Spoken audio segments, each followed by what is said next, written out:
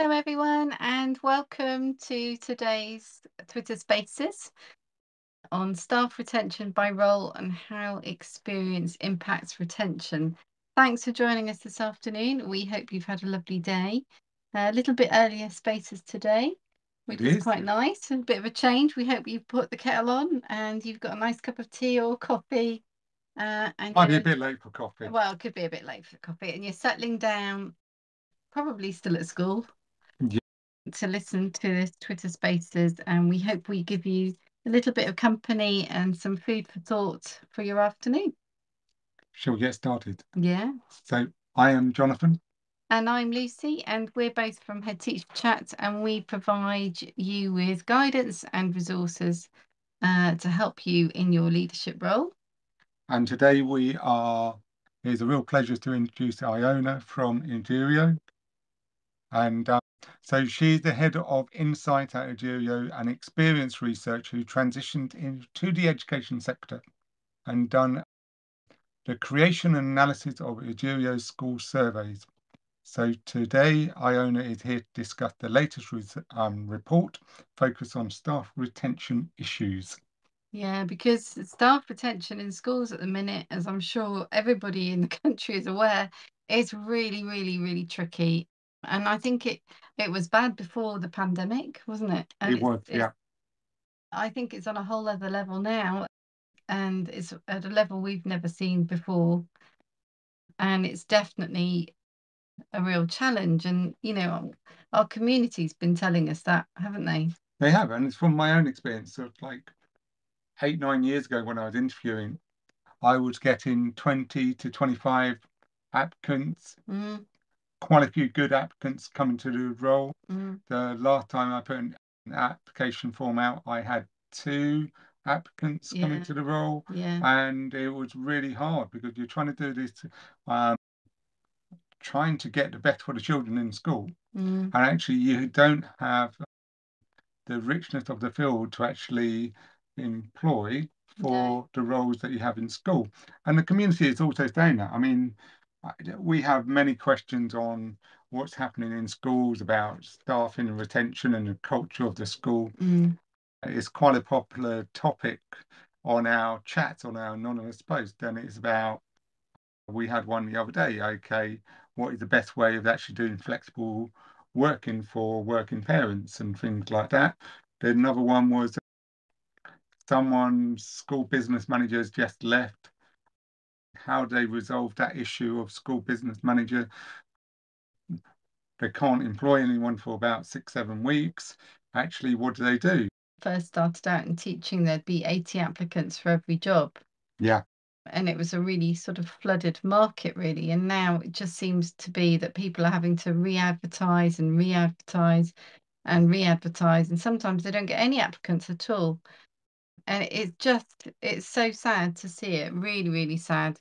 So, you know, Iona, we're really pleased that you're here today to hear about what yourself and your team at Edurio have been doing. I know you've been conducting a substantial survey examining this issue, and we're really interested to find out, you know, what you discovered. Welcome, Iona. Hello, can you hear me well? Yeah. Yeah. can, yeah. Um, great. Uh, well, thank you very much for having me. Um, excited to be here today and hoping uh, to share some useful insights um, with you all today. Um, so the research is based on um, a survey that we've been running now for the last five academic years. Uh, we started in 2018, 2019, and since then we've captured the voices of over 110,000 staff members. We've released a number of reports since then. The most recent one that we're here to talk about today launched one week ago today, last Tuesday, and this looks at the overall experience among school staff and drivers of retention for staff in different roles. We can have a, kind of in-depth chat about the about about what we've learned, but a, a brief summary. So the survey itself looks at overall experience across a range of different factors. So we look at things like staff relationships, student behaviour, pay and benefits, and things like the relationship with the trust. It's quite a, a far-reaching survey. It's it's meant as a kind of broad experiential uh, a broad look across the experience of what it is to be a staff member within English schools. We found some parts of the experience to be more positive overall and others to be much more negative. Um, I'll share a bit more detail on those in a moment, but uh, we've also been tracking uh, the risk of resignation across those years. So what we mean by that is among um, among all staff that we that we survey, we ask them how often they've thought about resigning in the past three months, um, and those who have done so some uh, anything other than rarely, so sometimes frequently all the time, we we track kind of the, their risk of resignation. Because we've been able to track that over kind of the last four years, and we have, as I say, that kind of wider experience stuff and those those the, the tracking around risk of resignation, we're able to put those two things together and we're able to see kind of what are the areas where that where there where there's a kind of stronger relationship with risk of resignation and what are the areas where there's a, a less strong relationship with the logic being that areas which are either very positive and have a strong relationship or very negative and have a strong relationship might need more focus. If something is is is an area where staff are kind of quite unhappy and that's an area that's got a strong relationship with retention that might be the place to start if we're if we're trying to if we're trying to sort of prioritize our actions around tackling the staff retention um, crisis Mm, so what did you find out in terms of risk of resignation? How how bad is it? So we've yeah as i say we've been tracking it for four years sorry for five years now and we've also tracked it as i say it's those who are thinking about resigning which is slightly different to those who actually resign.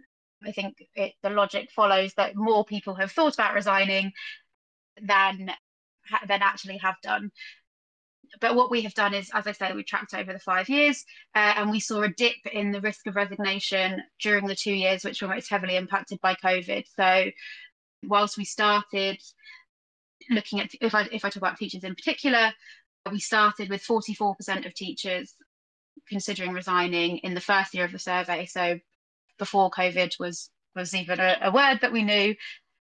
By 2020, 21, that had dipped by 6%, only 38% of staff were considering resigning. And now it's higher than it was pre-pandemic. So this this last year, 49% of teachers had considered resigning we also track that against the school workforce census. And as I say, we would expect there to be a smaller proportion that have actually resigned than have considered it. But we see that that, that trend is there as well. So dipping in resignation during the pandemic and now and now rebounding and leaving us with the situation that that we are in that we're seeing now and yeah, as, as I as I kind of mentioned, the we we look at this. I, I mentioned we've had 110,000 responses since we launched the survey. We focus mostly on this year's results in the in the most recent report, but we still have kind of a significant number of responses that that can can tell us what's going on in schools. Before I give specifics there, I want to be clear that every school is different. We do see a huge range in the risk of resignation. In some in some schools, we saw as low as 8% of staff considering resigning, all the way up to 100% of staff in some schools who had considered resigning in the three months to taking the survey. And that is really important to consider because what, what I share today is not is not going to be the case in every single school. It's not going to be that just taking these things that I that I talk about today and going implementing them are going to solve the retention crisis. That's that's um, that's far too um, optimistic. A, a, um, a, but yeah, so that's that's all of the caveats. I, I'll tell you the kind of parts of the experience where staff were most and least positive. So the the top three areas we see support from line manager 70 percent of staff that were surveyed were positive about questions relating to support from their line manager.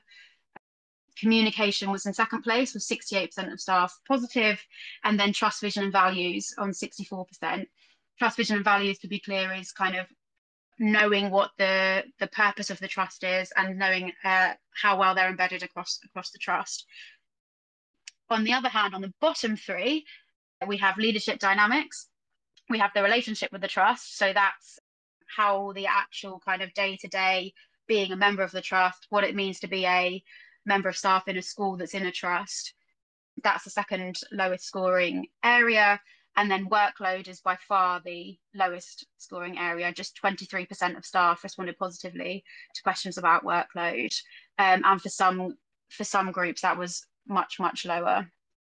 For, for teachers in particular, we saw a a significant a significantly lower positive response for for workload questions. I think only 12% of 12% of middle leaders, 16% of, of teachers responded positively to workload questions. So that is a significant issue.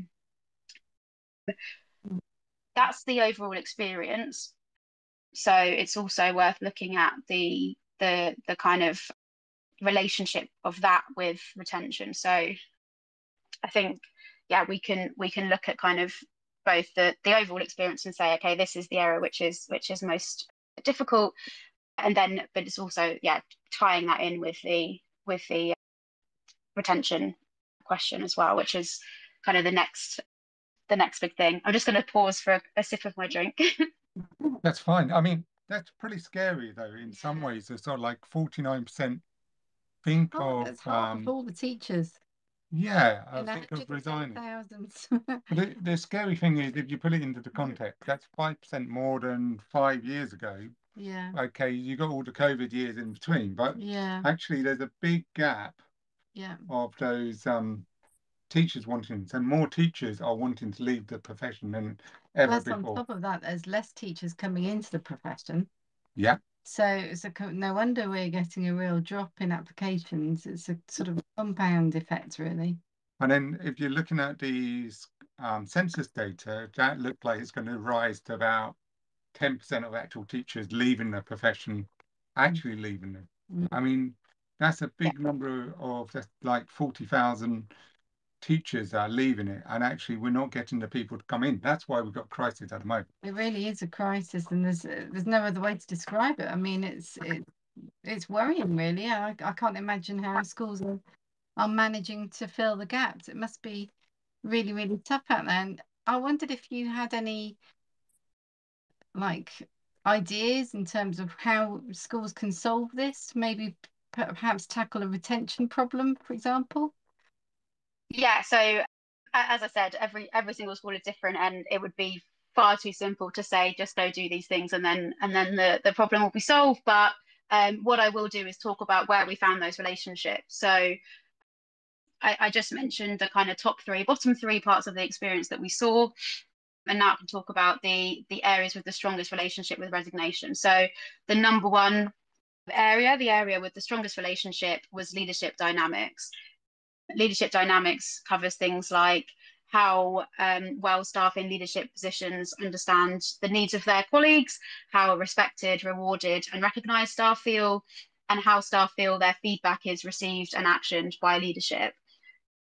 You'll recall that I also listed leadership dynamics in the bottom three parts of the experience. Yeah. So that is both a area where staff are perhaps less positive and an area that's got a, a strong relationship with with resignation. So if I was going to say what's what's the what's the simple answer to this, then it is it is areas around leadership. So ensuring that staff feel respected, rewarded, and and, and recognised, and also making sure that when staff give feedback, it is kind of heard, understood, and it's clear what they've what the purpose of giving that feedback was.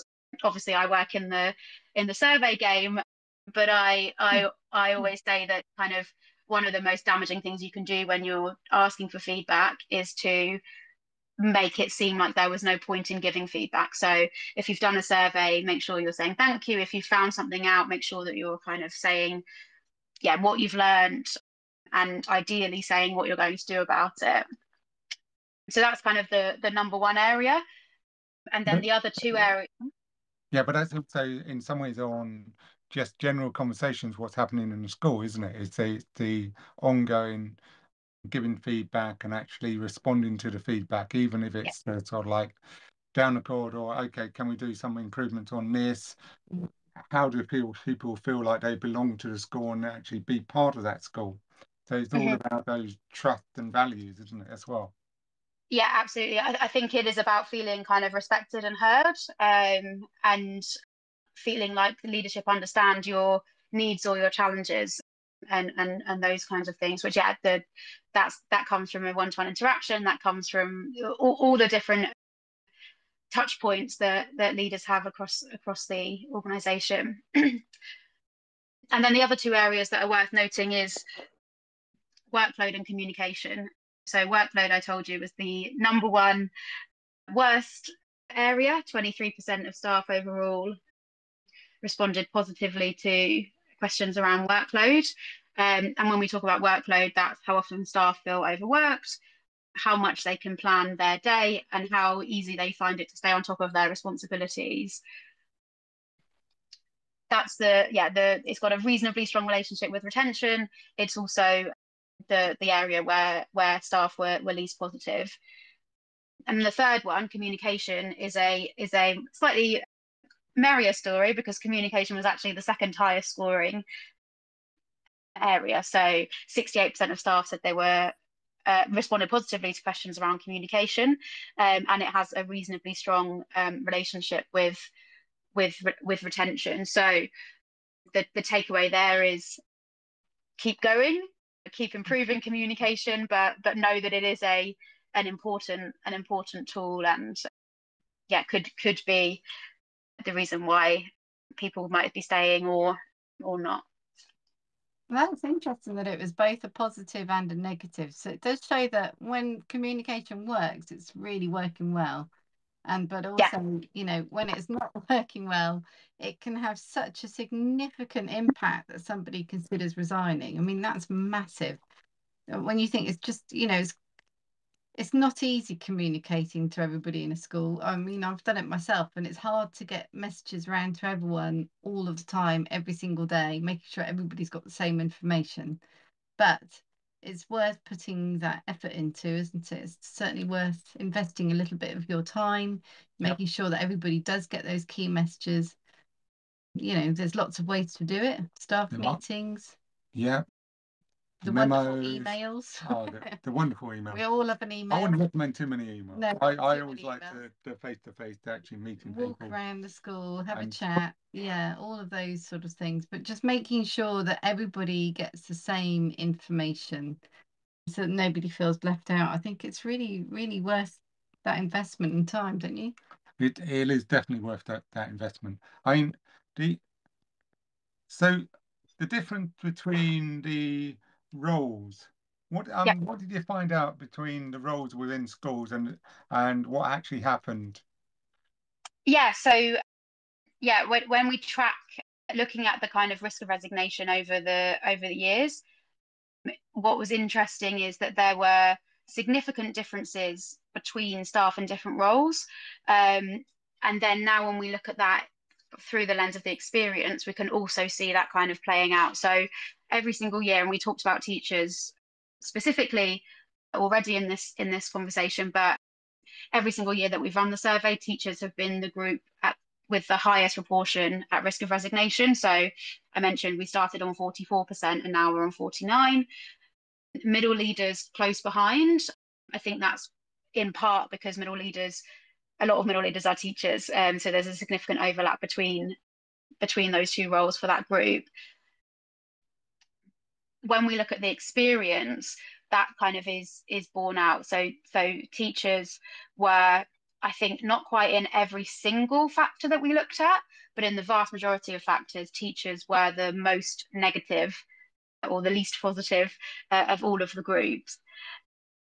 Conversely, we see senior leaders more positive than than others. So senior leaders across the experience were were ranking were, were rating higher positivity than than their colleagues in in other roles. And they have the group that's consistently got the lowest risk of resignation.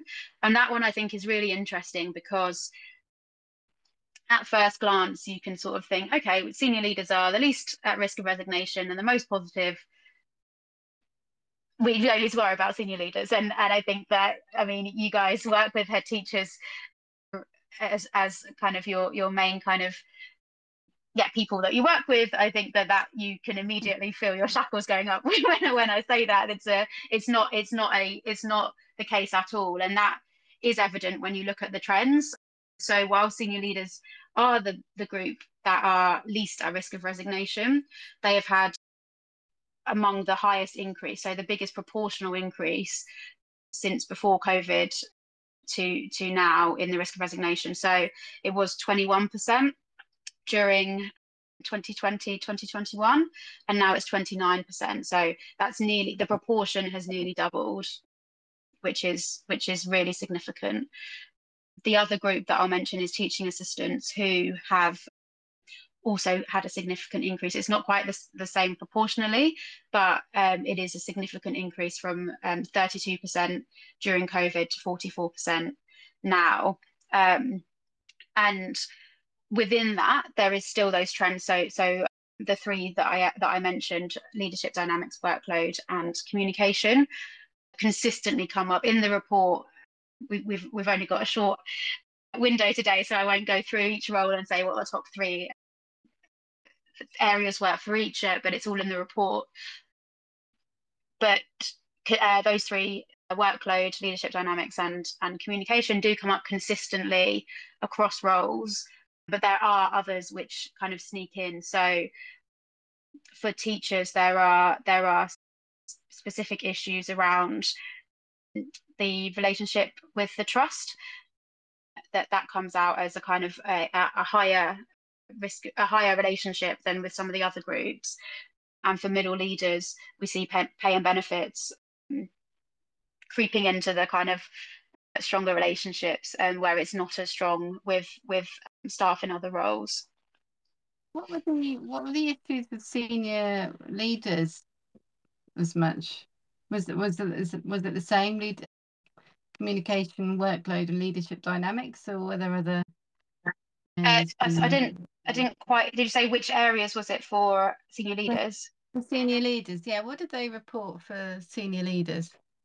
Yeah, so workload and communication are in there, and then the mm. the other one which which doesn't make the it's in the bottom three for the kind of experience, but not at the overall level for the relationship for the yeah relationship with risk resignation, and that's relationship with the trust. So how easy or difficult is it to voice work related concerns to the trust?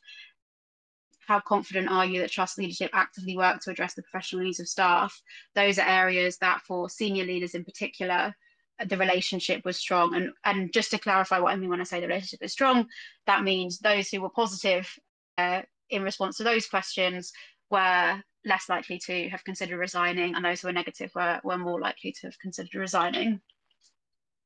Okay, so there a, a difference between, because the, the common theme through this is the trust. Is there a difference between a maintained school and a trust school then? I don't have that data to hand. So it possibly, I mean, maintained schools, we wouldn't be asking about the trust. So those areas would, would, yeah, would, wouldn't be in there. So the, the top three and bottom three, therefore, would be slightly different because relationship with the trust would, would not be a factor for those but I so I, I don't know whether or not the I don't I don't have to hand kind of what the bottom three would be for maintained schools, but yeah, the consistently we see kind of workload leadership dynamics as as issues. Uh, interesting.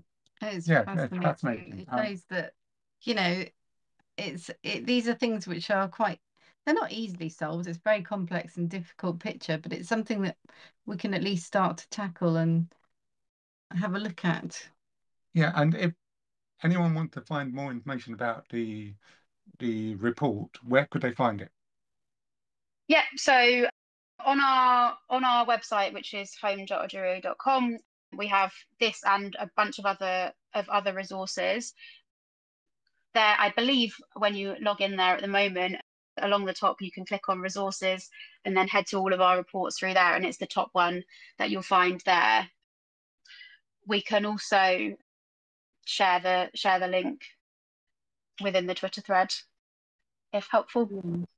Super, yes. I'll set that up so that everybody can have a have a look there and and, and read that report. It's really amazing what you've done, really. 110,000 people who've taken part in in this survey. I mean, that's that's incredible, really. So well done to you guys at Edurio for collating all of this information, really, and sharing it with us so that we can, you know, have a look at it as a community and see what we can do to improve the situation. You know. And actually, on the on the website, they, they, there is quite a lot of other material that's quite useful for a school leader. Mm. I mean, the um, pupil safeguarding report, I, it was really interesting as well. So Mm. it's not just um, this retention one, which is Yeah. fascinating. Actually, having all the the figures and what we can do about it. I'm not sure it's a short term solution to it, but actually trying to improve those communication skills, trying to reduce the workload, and trying to actually get the the sort of like the trust leadership. Skills actually compatible to the actual schools. There's, I think I think as long as we get the communication going, you know, the conversation started about what can we do to make recruitment and retention better in our school or academy trust. I think that's that's at least a little win for the week. but it's all, Um, and I, you know, I think that's really important. You know, I think we can all collectively help and support each other. We're all we're all feeling it. Everybody in the community in the UK are feeling the same pressures. but it, it's again going to back to the fundamental um, characteristic. What is the culture of the school like? Mm, Actually, how do we actually make sure the culture is right for everyone to be working in that school? yeah. Because you can have a good culture Mm, and have good staff retention uh, in a school, and that should be the focus. And actually, how do we do that? Mm. I wonder, Iona, if you've got any questions that, you know, perhaps leaders could look at as like a, a prompt, if you like, as like a starting uh, block to kind of use when they're looking at their own school in terms of their self-evaluation. Are there any sort of questions they could ask themselves? Yeah, so I think I, I think that this report is is is a is a useful starting point. As I mentioned, there is significant differences between schools, so I wouldn't sort of if if you've never kind of done a, a sort of similar look at, at at the situation within your school, I wouldn't sort of take this as the Bible and go and implement the things that are that are mentioned in here necessarily, because it, it might be that the situation is different. But yeah, I think this is a, a good place to start and and basically to see of the of the areas that have been risen that have, that have kind of been raised within the within the report what play what things are in place within the schools to to aid with those things. And also I guess what what actions are currently happening. So thinking about leadership dynamics if there are kind of if if we can see that there is a, a sort of uh, an issue with how valued staff are feeling thinking about what are the, the actions that are currently being uh, that are currently in place that may or may not kind of signal um, those feelings. Same for kind of workload questions or or communication and and and others across the experience as well. That's amazing. Thank you so much, Ian. It's been such a fascinating insight into, if a brief one, because, you know, it was quite short, but I hope it's given our listeners a real summary of the amazing work that you guys have been doing at Edurio and, you know, the, sorts of things that you've discovered along the way. Yeah, and at Head Teacher Chat, we're here to support as many school leaders as possible, and it's important that we find out about the issues in school and how we actually can address them. So there's a lot of resources and guidance on our website. Mhm. Edurio's on our website. We're given a sort of like why you should actually look at Edurio and Yeah. how it can benefit your schools. Yeah. So do visit our website, headteachers.org, and subscribe to our newsletter, subscribe to everything. Head Teacher Chat. Got new, we've got a new, new URL and we're still learning it at teacherchat.com. And uh, yes, and if you are not signed up to our newsletter, I really recommend that you do so. I'm slightly biased because I write it, but actually, because I was a school leader for many, many years, at least 15, I kind of know what kind of stuff that you guys need to know each week. So every Monday and Friday, I put out all of the updates from the DFE, Ofsted, you name it, anybody important, Ofqual, and and ourselves from our Edu Network. So you get everything you need to know in one email. So if you're interested, head over to our website, headteacherchat.com and sign up to the newsletter. And next week we are talking to Sam Strickland. We are. Can't wait to talk to Sam Strickland. About behaviour and culture again, basically. Behaviour and culture. There you go. Iona, you would have loved that. So so if, please do join us next week uh, as we listen to Sam, who is fabulous. If you've not heard Sam before, you will really, really enjoy it. Sam was a speaker at our conference last year. He was. And honestly, the reaction that our guest made on the day after his speech was fantastic. You will love listening to Sam next week. So tune in next Tuesday at 7.30. I'm going to end with a quote of the day. Quote of the day. So Jonathan's favourite bit. Okay. this is Phil Jackson, an American basketball coach, and he's he was the manager of Michael Jordan at that time. And so the strength of a team is its individual members. The strength of each member is the team. And this is what we're talking about. It's about Yeah. the culture of the team and how we develop it. That's really lovely quote. Thank you, Jonathan. So, and thank you so much to Iona for joining us today. We hope you've all enjoyed it and we hope you have a lovely afternoon. Thanks for having me, guys. Thanks, Iona. Bye, everybody. Bye.